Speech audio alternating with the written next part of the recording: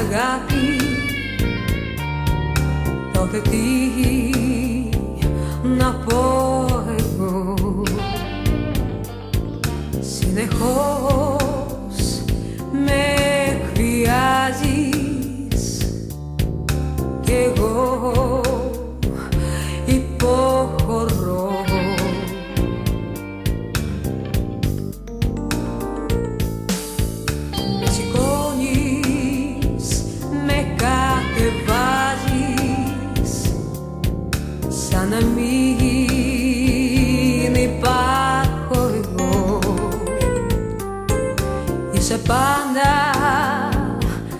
bad.